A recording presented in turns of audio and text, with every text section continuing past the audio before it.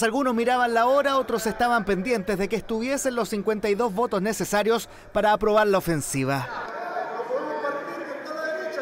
Pese a las tensiones y el retraso en el inicio de la sesión, con 55 votos a favor, 47 en contra y 6 abstenciones, se aprobó la interpelación en contra de la ministra del Interior, Carolina Toá, una acción impulsada por Chile Vamos.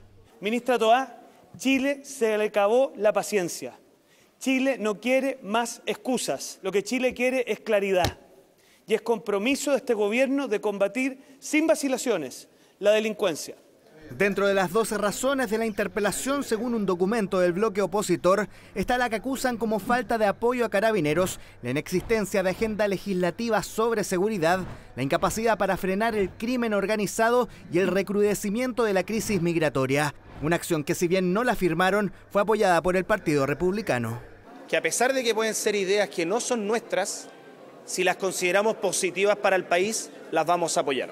En el oficialismo no hay dobles lecturas y apuntan a una lógica electoral detrás del anuncio de interpelación, el que se da solo a días del 7 de mayo. Me parece una iniciativa miserable. Se hace a menos de 10 días de un evento electoral.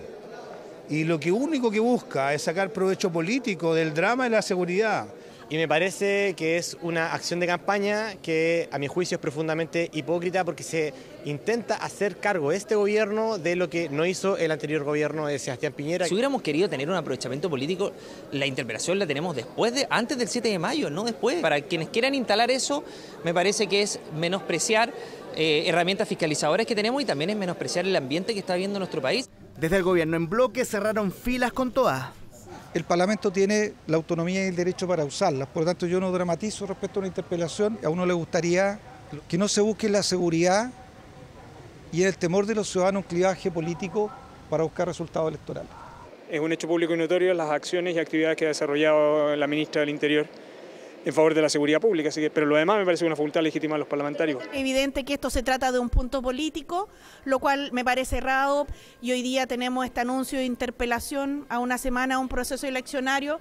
No quisiera pensar que esto está relacionado con aquello. Que la ministra Toá sea interpelada el próximo 16 de mayo no sería lo único. En Chile Vamos no descartan una acusación constitucional.